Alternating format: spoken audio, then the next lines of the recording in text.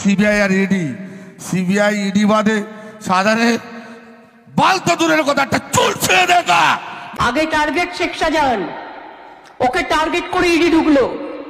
তারপরেই সবাইকে বার করে দিয়ে তারপরে ওখানে আদিবাসী মাইনরিটিদের মধ্যে ঝগড়া লাগিয়ে দিল। যত দিন যাচ্ছে এই বাংলার মানুষ তত বুঝতে পারছে যে কেন মুখ্যমন্ত্রী মমতা বন্দ্যোপাধ্যায় চীনের প্রাচীনের মতন শেখ শাহজাহানের পাশে দাঁড়িয়ে আছেন। রাজ্য বিধানসভায় দাঁড়িয়ে একজন দুষ্কৃতী শেখ শাহজাহানের পাশে দাঁড়িয়েছিলেন রাজ্যের মুখ্যমন্ত্রী মমতা বন্দ্যোপাধ্যায়। আমাদের ট্যাক্সের টাকা খরচা করে শেখ শাহজাহানকে বাঁচানোর জন্য কলকাতা হাইকোর্টে single bench, division bench, supreme কোর্টে সিঙ্গেল বেঞ্চ, ডিভিশন বেঞ্চে ছোটাছুটি করেছে মমতা বন্দ্যোপাধ্যায় সরকার। কেন? সেই প্রশ্নের উত্তর এবার প্রতিদিন আস্তে আস্তে পরিষ্কার হয়ে যাচ্ছে। তবে তাতে কি এসে গেল? তাতে কি বাংলার মানুষের কোনো চৈতন্য হবে? সেই তৃণমূল কি ভোট দেবে? লক্ষ্মীর ভান্ডারের লোভে। দুশো একষট্টি কোটি টাকা এখন অব্দি বাজেয়াপ্ত করা হয়েছে শেখ শাহজাহানের কাছ থেকে। দুশো একষট্টি কোটি টাকা। PMLA prevention of money laundering অ্যাক্টে Sheikh শাহজাহানের বিরুদ্ধে চার্জ জানা হয়েছে এবং দুশো একষট্টি কোটি টাকা বাজেয়াপ্ত করা হয়েছে। দুশো একষট্টি কোটি টাকা যার বাজেয়াপ্ত করা হয়েছে, সে তো এখন জেলে আছে। কিন্তু যার কোম্পানির দুশো পঞ্চাশ কোটি টাকা বাজেয়াপ্ত করা হয়েছে, সে এখনও বহাল তবিয়াতে ঘুরে বেড়াচ্ছে, ভোটে জিতছে, যেখানে খুঁজে চলে যাচ্ছে। কি হচ্ছে বলুন তো? শেখ শাহজাহান, তার দুর্নীতির টাকা কার কার পকেটে ঢুকলো? শেখ শাহজাহানের দুর্নীতির টাকা পার্টি ফান্ডে গেছে ইতিমধ্যে চার্জশিট দিয়ে জানিয়ে দিয়েছে ইডি। তাদের চার্জশিটে আর কি কি উঠে এসছে? শেখ শাহজাহানের টাকা কার কার পকেটে গেছে? যে জন্য মমতা বন্দ্যোপাধ্যায় চীনের প্রাচীরের মতন শেখ শাহজাহানের পাশে দাঁড়াচ্ছেন? সবটা শোনাবো। এই গুরুত্বপূর্ণ প্রতিবেদন শেষ অবধি দেখুন। আমি মানব দা নিউজ বাংলায় আপনাদের স্বাগত জানাচ্ছি। প্রভাবশালী মন্ত্রীদের খুশি করতে রীতিমতো লাখ লাখ টাকার উপহার দিতেন শেখ শাহজাহান জমি দখলের টাকায় সাতাশি লক্ষের সোনা গাড়ি কেনে শেখ শাহজাহান ইডির চার্জশিটে এমনই রিপোর্ট দেওয়া হয়েছে যে চার্জশিট জমা পড়ে গেছে ইতিমধ্যে হাইকোর্টে। এবং দেখা যাচ্ছে চারজনের নামে এক কোটি দশ লক্ষ টাকার সম্পত্তি কেনা হয়েছিল শাহজাহানের তরফে। এই এক কোটি দশ লক্ষ টাকা ছিল উপঢৌকন মানে উপহার, যেগুলো নেতা এবং বিধায়কদের কাছ থেকে কাছে পৌঁছে গেছে। কাদের নামে সম্পত্তি কেনা হয়েছিল? চার্জশিটে কি বলছে? তনুশ্রী, জয়ন্তী, চন্দ্রদীপ এরকম চারজনের নামে একটি বেসরকারি ব্যাংকে চারটি অ্যাকাউন্ট খোলা হয়েছিল এবং সেখানেই এই এক কোটি দশ লাখ টাকা জমা পড়েছিল। এই চারটি অ্যাকাউন্টের মধ্যে দুটি থেকে পঁয়ত্রিশ লাখ টাকা করে সত্তর লাখ টাকা, বাকি দুটি থেকে কুড়ি লাখ টাকা করে চল্লিশ লাখ টাকার লেনদেন হয়েছে। মোট এক কোটি দশ লাখ টাকা খরচা করে এই চারজনের নামে শেখ শাহজাহান সম্পত্তি কিনেছিল। তারা কারা? জানা যাচ্ছে, প্রভাবশালী এক বিধায়ককে হাতে রাখতে গাড়ি উপহার দিয়েছিলেন শেখ শাহজাহান। কে সেই প্রভাবশালী বিধায়ক? চার্জশিটে নাম নেই। অর্থাৎ, বাংলার কোনো সাধারণ মানুষ জানতে পারবে না যে ইডি এই প্রভাবশালী বিধায়ক যে শেখ শাহজাহানের কাছে গাড়ি পেয়েছিল, তার নাম কি?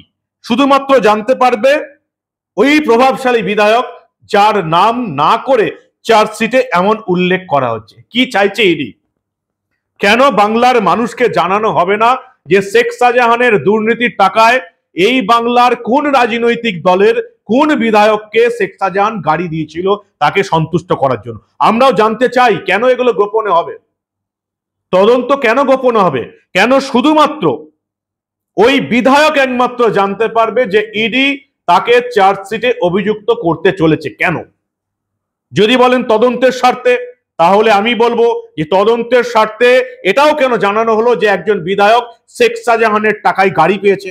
সেই বিধায়ক তো সতর্ক হয়ে গেল, তাই নয়? তাহলে আমরা কেন নাম জানতে পারব না সেই বিধায়কের? কি ঘটছে জানি না। জমি দখলের টাকায় সাতাশি লক্ষ টাকার সোনা, গাড়ি এইসব কিনেছিল, এই এক কোটি দশ লাখ টাকার সম্পত্তি কেনা হয়েছিল এবং যেটুকু জানা যাচ্ছে প্রচুর। কোটি কোটি টাকার উপহার দেওয়া হয়েছে প্রভাবশালী নেতা মন্ত্রীদের চার্জশিটে, এমনই তথ্য তুলে ধরেছে এনফোর্সমেন্ট ডিরেক্টরে জমি দখলের টাকায় শেখ শাহজাহানের সম্পত্তি এবং টাকা লেনদেনের পরিমাণ একশো নিরানব্বই কোটি ছিয়াত্তর লক্ষ টাকা, যেগুলো বাজেয়াপ্ত করা হয়েছে। অর্থাৎ শেখ শাহজাহান যদি কোনোদিন এই মামলায় জিতে যায়, তাহলে এই টাকা তাকে ফেরত দেওয়া হবে। ইডির দাবি এখন অবধি যেটা বাজেয়াপ্ত করা হয়েছে, সেই সম্পত্তির মূল্য হচ্ছে প্রায় দুশো কোটি টাকার উপর। শেখ শাহজাহানের ভাই শেখ আলমগীরের কুড়ি কুড়ি কোটি টাকা। তার সঙ্গে শিবু হাজরা, তৃণমূলের নেতা দশ কোটি টাকা এবং অন্য সঙ্গী দিদার বক্সের সাত কোটি উনআশি লক্ষ টাকার সম্পত্তির হদিশ পেয়েছেন ইডি গোয়েন্দারা। শেখ শাহজাহান, আলমগীর, শিবু হাজরা প্রত্যেকেই তৃণমূলের প্রভাবশালী নেতা বসিরহাট এলাকার, সন্দেশখালীর নেতা। বেআইনি অস্ত্র দিয়ে খুন, খুনের চেষ্টা করে গেছে। শেখ শাহজাহান নিজের প্রভাব বাড়িয়েছে কেন? কারণ প্রভাবশালী নেতা মন্ত্রীদের তারা উপহার পৌঁছে দিত, গাড়ি সোনা দনার অলংকার আর সেদিকে দিয়ে সন্দেশখালীতে নিজেদের প্রভাব প্রতিপত্তি বজায় রাখত। এবং শুধু তাই নয়, শেখ শাহজাহানের বিরুদ্ধে একাধিক মামলায় নিজের নিজের ভাই এবং সঙ্গীদের নাম পুলিশের খাতা থেকে রীতিমতো ডিলিট করিয়ে দিয়েছে শেখ শাহজাহানের দলবল। পুলিশের পকেটে কত কোটি টাকা ঢুকেছে, সেটা কবে ইডি চার্জশিট দিয়ে জানাবে, সেটাও আমাদের দেখার। জেলা এবং পঞ্চায়েত স্তরের বিভিন্ন পদে শাহজাহান পছন্দ মতো নিজেদের লোকেদের বসায় প্রভাব কাটিয়ে যাতে এই দুর্নীতি চালিয়ে যেতে পারে। এক প্রভাবশালী বিধায়ককে দামি গাড়ি উপহার দিয়েছে শেখ শাহজাহান। যদিও এই বিধায়ক বলতে কার কথা বলা হয়েছে তা জানায়নি ইডি। কেন জানাবে না আমার প্রশ্ন। আমরাও জানতে চাই, বাংলার মানুষ জানতে চায় কোন সে প্রভাবশালী বিধায়ক, কোন রাজনৈতিক দলের যে শেখ শাহজাহানের কাছ থেকে গাড়ি পেয়েছে। গাড়ি, সোনার অলংকার পৌঁছে দেওয়া হতো প্রভাবশালীদের কাছে। জানা যাচ্ছে চুয়ান্ন লাখ টাকার মাছ কেনার হিসেব দেখানো হয়েছে, অথচ এক পয়সারও মাছ কেনা হয়নি। ইডি রিপোর্টে এমনটাই উঠে এসছে। এখন অবধি দুশো একষট্টি কোটি টাকার সম্পত্তি বাজেয়াপ্ত হয়েছে। দুশো একষট্টি কোটি টাকার সম্পত্তি বাজেয়াপ্ত হয়েছে বলে শেখ শাহজাহান এখন জেলে। অথচ লিপস অ্যান্ড বাউন্স কোম্পানির বাজার মূল্য এখন নাকি দুশো পঞ্চাশ কোটি টাকার সম্পত্তি বাজেয়াপ্ত হয়েছে, অথচ সেই কোম্পানিটা যার নামে সে এখনও জেলে ঢোকেনি। এটা যে কি ধরনের বিচার, সেটাই এখন ইডি এবং কেন্দ্রীয় সরকারকে কিন্তু জবাবদিহি করতে হবে। যেটুকু জানা যাচ্ছে যে শেখ শাহজাহান একটা ট্রাস্ট খুলে ফেলেছিল এবং সেই দুর্নীতির কালো টাকা সেই ট্রাস্টে জমা হতো এবং সাদা হতো। ট্রাস্ট মেয়ের নামেও অনেক কোম্পানি খুলেছিল এবং সেখানেও কালো টাকা সাদা করার ব্যবসা করা হতো। কি কি তার বিরুদ্ধে অভিযোগ রয়েছে? গ্রামবাসীদের উপর অত্যাচার, জোর করে জমি দখল, সমুদ্রের নোনা জল ঢুকিয়ে ভেরি সেই জমি দখল করে, সেখানে ভেরি করে মাছের চাষ করা, এসব ঘটনা তো আমরা দেখেছি। কিন্তু এখন যেটা প্রশ্ন যে, জ্যোতিপ্রিয় মল্লিকের সূত্রেই কিন্তু প্রথম এই শেখ শাহজাহানের নাম শোনা যায়। ইডি তার বাড়িতে তল্লাশি চালাতে গিয়েছিল, তারপর কি কি হয়েছে সেটা তো আপনারা জানেন।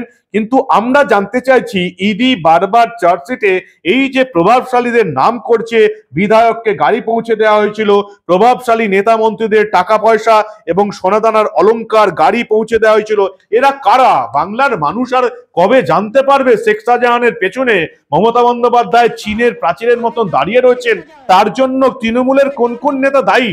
কবে জানবে বাংলার মানুষ? ইডি সিবিআইয়ের কাছে আমার অনুরোধ যে এই নামগুলো প্রকাশ্যে আনুন। বাংলার শিক্ষক নিয়োগ দুর্নীতির পেছনে কাদের নাম আছে, বাংলার মানুষ জেনে নিয়েছে, তবু তারা তৃণমূলকে ভোট দিচ্ছে। রেশন দুর্নীতি, গরিবের খাবার কে চুরি করে নিয়েছে, বাংলার মানুষ জেনে নিয়েছে, তবু তারা তৃণমূলকে ভোট দিয়েছে। বাংলার মানুষ জানুক যে শেখ শাহজাহান এবং তৃণমূলের এই সম্পদের কোটি কোটি টাকা এর পেছনে কার হাতে সেটা তো বাংলার মানুষের জানা দরকার। বাংলার মানুষকে হাজার এবং পনেরোশো টাকার ভাতা দিয়ে কারা কোটি কোটি টাকার সম্পত্তি করে নিচ্ছে, এটা তো বাংলার মানুষের জানা দরকার।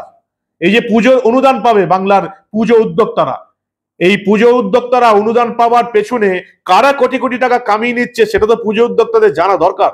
তাই ইডি আধিকারিকদের কাছে অনুরোধ করব, এসব নাম চেপে রাখবেন না।